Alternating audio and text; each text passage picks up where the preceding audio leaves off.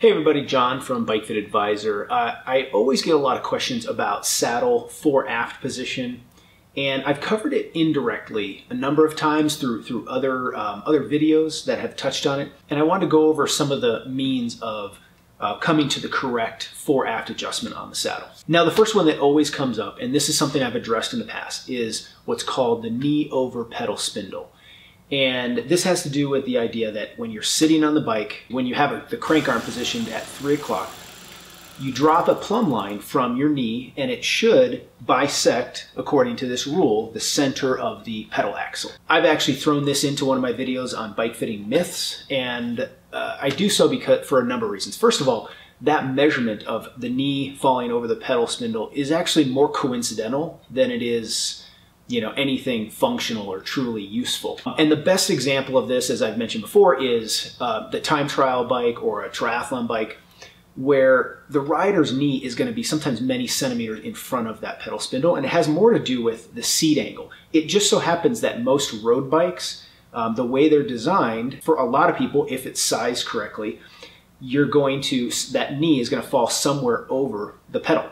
And this kind of goes to actually the idea that this rule was used, what used to be used strictly not as a bike fitting setup rule, but simply just to see if a bike was your size. And so people would, you would be able to, if you could get on the bike with your hands on the handlebars in whatever position they happen to be in, but, and you could adjust the fore aft so that your knee fell somewhere over the pedal, then it used to be such that you, you would you'd say, oh, well, that, that bike was the correct size for me. Now, we know there's better ways to go about that, but it's interesting that this rule has then been sort of turned into a bike fitting metric when in fact it's not.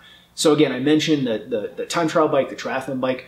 I always think of like think about a recumbent bike. Um, I know that's that's kind of a ridiculous example, but an example nonetheless. And another reason why it's really kind of a, a debunked rule is that there's really not much agreement on where on the knee you're supposed to drop that plumb line from. Uh, you see, most of the time people say from the front of the knee, but I've seen and, and read descriptions where they're dropping it from the front of the kneecap or they're dropping it from the front of the patellar tendon, which can be, in some people, such as myself, it could be a centimeter or more difference. Uh, some from the tibial tuberosity, uh, which is the kind of the bony protrusion you see on a lot of people. Um, and that can be many centimeters different sometimes, or at least a couple centimeters different than, um, than other portions of the knee.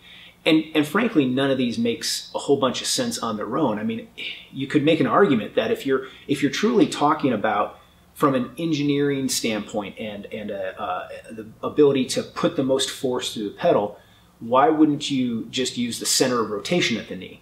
Um, since this is where the force is being put through the tibia itself. So again, this whole knee over pedal spindle, unfortunately, it's still out there. People still use it. If a bike fitter ever uses it with you, you should run away. Or at the very least, it should be used in a very lightweight manner. And I mean that by just a quick, if you're just getting, you know, quickly set up on a bike for a demo ride or something like that, and it's a completely free thing. But if you're paying for a bike fit and they're doing this, that's when you run away. Now, it could be useful as a reference. Um, once you do establish your, your saddle position in fore aft via other means, um, maybe you drop a plumb line just to see where you are in relation to your pedal and and you can use that as a, like I said a reference point so that you remember where that seat is or um, or you know next time you get a when you're getting a new bike you have some some idea for where you you were balanced and that brings me to the second method um, and and I think the better much better method to for doing this and it's the balance test I have done a video on this in the past um, I will link that above, right up here. But I want to dig into this with just a little bit more depth. Now, real quickly, you can go check out that video. But on the balance test, we get on our bike, on a trainer. Uh, we want to spin at just a, a little bit above sort of an easy pedaling gear um, not quite to threshold, so somewhere in, a, in a, like a tempo sort of effort. You don't want too much force on the pedals, but you also don't want to be, you know, soft pedaling either. Try and match your typical riding cadence where you spend a lot of your time. And now as you're pedaling, what you're going to do is take both hands and you're going to lift both hands off the handlebars at the same time. And you're going to be looking for a couple of things. One is your cadence to increase drastically. Um, number two is to have, you know, have to bear down with excessive trunk support in order to keep from kind of tipping forward. Um, but the third and, and kind of most problematic and, and the most symptomatic one is having your hips slide forward on the saddle.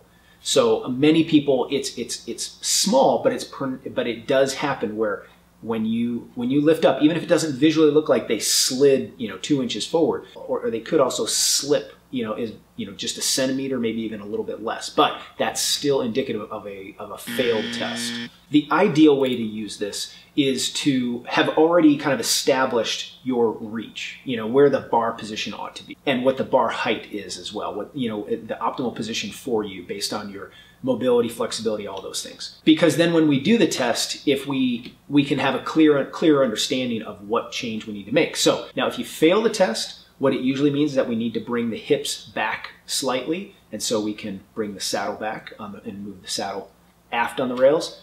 Um, if you lift up your hands, and it's very easy, like you, you, you do really don't have to do um, any of those things. Cadence doesn't increase. You don't have to, you know, bear down with abdominals too much, um, and you don't slip forward at all. It might be an indication that um, you you potentially bring the saddle forward, although that's actually pretty rare. And in cycling mechanics, this is one of those truths where there's a lot more downside to having the saddle too far forward than, the, than there is to having the saddle maybe a little bit too far back.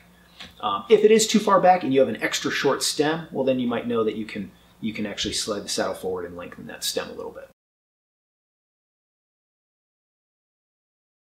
Okay, so there's some extra benefit to this test because it may be able to teach you if your bar position is correct and it also might be able to tell you if your bike is sized correctly for you.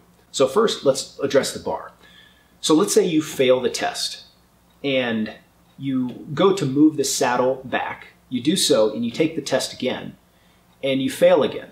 This is often a good sign that now what's happened is, is you have, you either didn't move the saddle back far enough, which you know is, is reasonably rare. It doesn't usually doesn't take much to, to get that balance point correct. But let's say if you fail it again, it's more likely due now because the reach of the bike might be too long. So this is the important thing. Many times, if you're moving that saddle back, you got to remember you're going to have to shorten the reach of the bike. Occasionally, it might be it might mean you need to um, increase the height of the bar just slightly. And this is something best done with a little bit of trial and error. So on a trainer, where you can, you know, even if you're uh, not fastening the stem entirely, you can just sort of play with the height of the stem or changing the rise of the stem too.